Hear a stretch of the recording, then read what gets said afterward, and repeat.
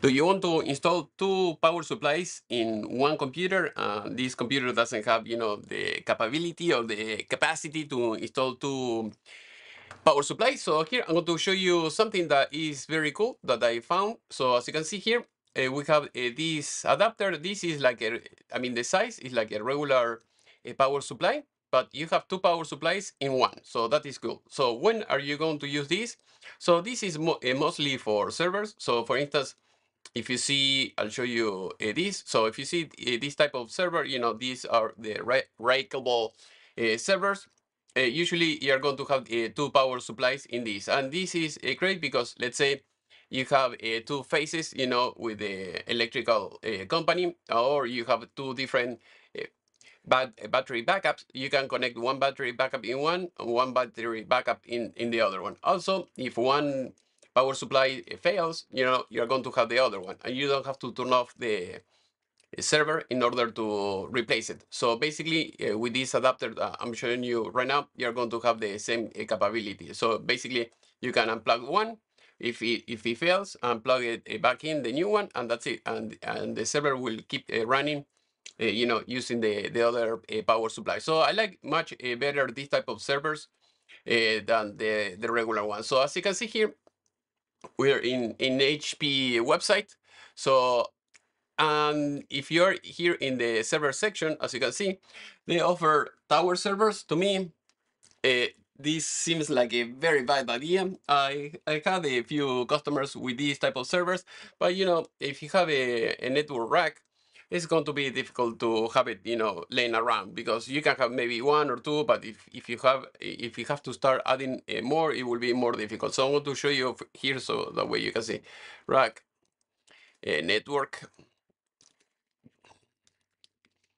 And you see, if you say if you see if you have something like that, you know, you can put all the the servers, you know, uh, horizontally Otherwise, if you have a regular tower, you have to be here on the floor or you have to buy a, a tray and in the tray you put the, the server. I mean, it's, it's a mess. To me, it doesn't make any sense. But uh, sometimes it's cheaper uh, buying these uh, tower servers than these uh, rack servers. So uh, usually people, uh, I mean, it depends on the company. If the company is very tiny, they are cheap, they're going to buy these if you, if you have a, a, real company, you're going to use uh, this. If you go to the data centers, I have many uh, videos about talking about data centers when I, I go for any repair or maintenance, they have this.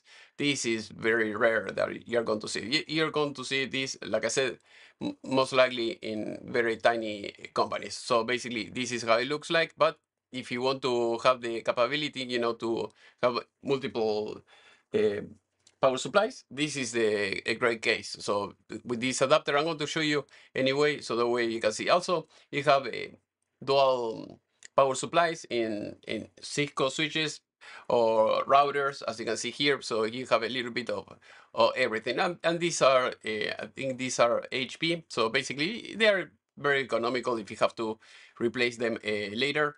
This one, for instance, is $50. So the, the this adapter, I'm going to show you the, the price. As usual, I am in US. If you need tools, electronics, just let me know. I can ship it to you. Otherwise, I'll leave you the link and you can buy it yourself. So as you can see, uh, we are eh, about uh, $600 now. And also I saw that sometimes they have, you know, used one. So if you want to buy a used one here, they have it for uh, 320 uh, I think if you want to have, you know, redundancy, this is a great uh, option so that way you can have everything in one place. So basically here what you have is just the case two power supplies and the wire and the wiring is the the same thing you know you're going to have everything uh, plugged in and if one dies this will this system will do the the switching between one and the other. So hopefully this video uh, was uh, useful. If you want to keep learning you can go to the playlist. I have all my classes you know about how to become a computer technician networking and everything else in my playlist. Uh, so if you have any question please let me know in the section below. And see you next time